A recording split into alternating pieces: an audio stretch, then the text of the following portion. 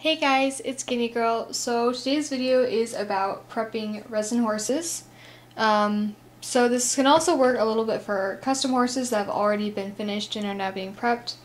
Um, so yeah, this can be used in quite a few ways. So first of all, um, this isn't really a full tutorial, but more of an explanation video, similar to my how to make jump video, you know, where I just talk through it, because a lot of these things take a long time, and I really don't have time to put it all on camera. Um, so yeah, so first of all, what you're going to need is a horse that's ready to be prepped and painted. Um, so here I have a custom horse that I started on a while ago. Uh, she actually doesn't have hair yet, but um, let's just ignore that for now. She's just going to be used as an example. And then I have a traditional resin here. This is um, Phoenix. She is braided. She's the braided variation. Um, so yeah, I recently bought her. I was really lucky because I bought her secondhand as they sold out a long time ago. Um, so yeah, I was really happy about that uh, yeah, so she's been a lot of work. She's been taking up a lot of my time as I've been going through and um, fixing small things here and there. So to start off, what you're going to really need, so if you're doing uh, dealing with resins, especially sometimes, if, especially if you buy them um, as like second castings or whatever, um, they'll have like big seams or whatever, and you can take your knife, X-Acto knife, and scrape them off. If you have a carbide scraper, carbide scraper, yeah, um, you can also use that too. And then some sculpting tools and dentist tools have like little sharp hook things that can also be used really well for that. Um, and so once you have all the biggest the biggest things off, um, you can sand off remaining little things that are still left over. So when I sand, I like to use the largest number of grit that I can find. Um, so this is 220. Um, so like you do not want to use like anything below um, like 200. Like 200 up is generally my rule of thumb, but depending on your model, even 220 can be way too big. And if you use it, you'll get a bunch of fine little scratches all over the place, which is horrible. It's absolutely horrible to get out. So you'd be really careful about that. Um, so the finer the grit, the better. Um, when I'm really finishing up, I will seriously use like 2000 grit sandpaper, which is used on finishing cars. Um, that works really well for me. Uh, same with like a 1700 or something. Um, because you have to keep in mind that's actually like how many chunks are on there. So if there's less chunks, they're obviously going to be bigger, and then you're going to get a bunch of sparsel scratches everywhere. So, um, yeah, you have to keep that in mind. Whereas when you're working on things such as um, plastic ponies, these will take a lot to sand off. If you're going to use my 2000 grit sandpaper, you're going to be sanding for five days straight and not get anywhere. So I will actually use these really thick grits on them. Um, you got to be careful if you have a layer of primer or something over them that's actually softer. But if you're just going on straight plastic, then go ahead and sand like crazy. Um, and then you can go back and kind of finish everything up with a, a larger grit sandpaper. And so um, that's how I deal with most of my removal processes. Now when you have small divots or lumpy parts or wherever that you want to fill in, um, you can see there's a lot of dark spots all over her where I kind of went in and smoothed out spots. Um, you can see a lot of these are in between muscles. Notice I did not just fill it in so she doesn't have a muscle, but a lot of the indentations were actually really rough. So I went back in and I actually made another indentation so there's still a definite line in the muscle. So don't just fill in muscles because I know that's kind of what it looks like I did. So for the clay I use, I use Epoxy Sculpt. Um, this is a two-part sculpt, so there's part A and part B. I prefer to use white just because it matches the color of my primer. Um, natural is also good. I have a couple things of that. This is just the part B. Uh, this is an older one, but yeah, it's natural. It's uh, just like a grayish color. You can kind of see, yeah. And so, um, just to keep these lasting a little bit longer, a, trip, a trick I learned um, from a couple of friends is to put um, like a wet towel or something in there, and then that will keep it moist and lasting a long time. Um, just because I don't really sculpt that often, so when I finally do get out to sculpt, I usually use a lot and then there's like nothing left because it's all dried out. So just be careful and always put the lids back on because they will, um, they'll lose all their moisture really quickly. Um, so yeah, I basically just go in and I mix two parts together, make sure it's 50-50 so you don't have like way more one than the other.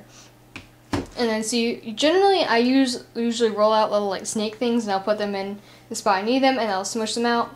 And then I use just like a little plastic cup of water and then I'll smooth it out. I know some people use rubbing alcohol, um, but I actually had some problems with that earlier where it was bubbling. Uh, my clay was getting little holes all over it and it was just absolutely horrible. I don't know if it's my rubbing alcohol specifically or if it was just, it doesn't work right. I don't know what it was, but it was horrible. Um, and it took me forever to realize that it was because I was, uh, I had to switch back to water. I still don't know what it was. I mean, I know people who use it and they have amazing results, but I just honestly don't know what was going on with mine. Maybe it was just something was up with my clay batch, something was up with my rubbing alcohol, I don't really know. Um, but I, I don't, I've never heard of it before, but just be cautious of it, I guess. Um, I mean, I honestly feel like water works just the same. And if you're really that desperate for some sort of liquid, this stuff is non-toxic. Of course, it tastes like crap, but if you really need it, you can use saliva too. Um, but yeah, so I also use a ton of sculpting tools. Um, I mean, most of these are just for um, my customs, but when I'm going in the muscle and stuff, um, generally, sometimes, especially in hard to reach areas, your hand isn't enough, so I got different things, like I got like thicker dowels, um, and then I got like thinner toothpicks. I've just got a ton of things. Um, what you're really looking for when you do this is rounder things like this. It's a round tip at the end and then you can go in there and just like um, smooth it out how you need. Uh, the back of uh, paintbrushes work really well too. Um, and so after I do that, I'll generally go in and smooth it out. Um, that's mostly for bigger things though, where I'm smoothing out a really large chunk. Uh, and then you can see that I had to add little touch-ups to her braids because there were like air bubbles in like all of the braids, which was kind of annoying, but I mean, it's obviously expected to have uh, casted things that aren't prepped yet. So what I would do is I would take a little tiny bead of clay, make sure it's mixed 50-50 or else it won't harden. And then I will put it like in the hole and then I will take like a really fine point and I'll braid or I'll sculpt back in the braid marks so it all fits out. And um, so I was mentioning before where you just put the snake down of clay and then you smooth it out with the back of a paintbrush or something that's kind of thick and then you go in with your hand in the water and you smooth it. You can do the same process for the face. I did that here a lot um, and in the neck. So it works in a lot of places. Now for like the smallest things, like filling in a tiny little hole that you can't get clay to fit in, I will actually use wood glue and I'll just leave a bead of it in the spot I need it. Uh, some people also use paint, but I generally find it doesn't um, stick as well as glue because this is actually meant as like holding stuff together, like really heavy duty stuff.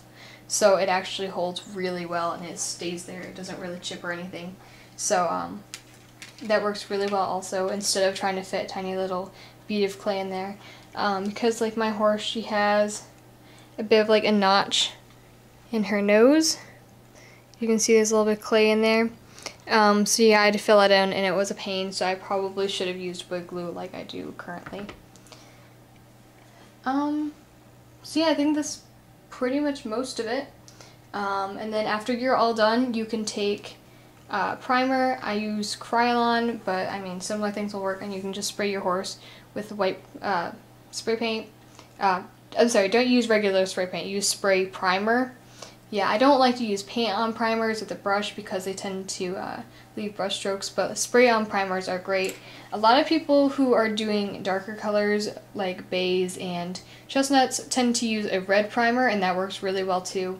Uh, if you're working on a darker gray or whatever, you can use gray primer, um, so on. I'm pretty sure I'm going to be doing either um, like a moosey gray, like a solid gray, um, like a Grulla or something, or I'm going to be doing a dapple gray. I'm not really 100% what I'm doing yet, so you should tell me what color to make her in the comments. Dapple gray or Grulla, what do you think? Um, so yeah, that will be a lot of fun. And then I've got this little classic Arabian that I got in progress too. So yeah, they're both works in progress. Don't even know when I'm going to finish them. And then of course I've got that one guy that I've had forever and I started pasteling him, but then I realized, uh, I don't like him, he has a lot of lumps, let's start over. So I started sanding again, and so he's in progress again. So he's been in progress for well over two years now. We'll see where this is taking me.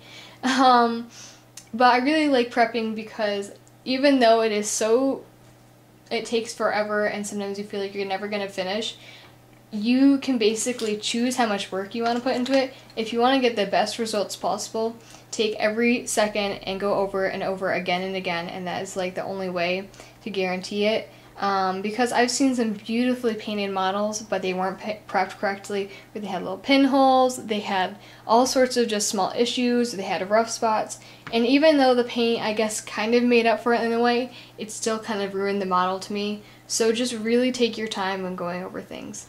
Um, that's really the only way to do it. Um, and I know some people use, I don't know exactly what the mix is called. I know Messo is half of it.